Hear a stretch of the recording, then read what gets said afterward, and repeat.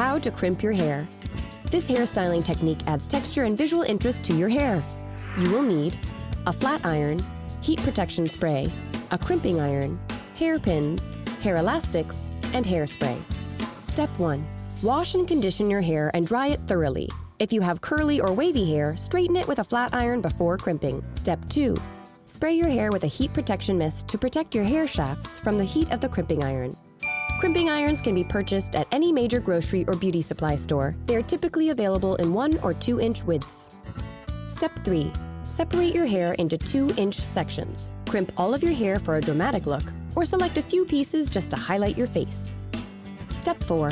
Heat the crimping iron according to the manufacturer's specifications. Crimp your hair sections from the roots to the ends, holding the iron closed for about 4 seconds at a time. For a more natural look, crimp only the upper layer of hair, leaving the hair underneath straight. Step 5. Pull your hair back with an elastic band or hairpins to show off the crimping. Don't forget to use hairspray to set your look. Did you know the women of ancient Rome used rudimentary curling irons to fashion their intricate hairstyles?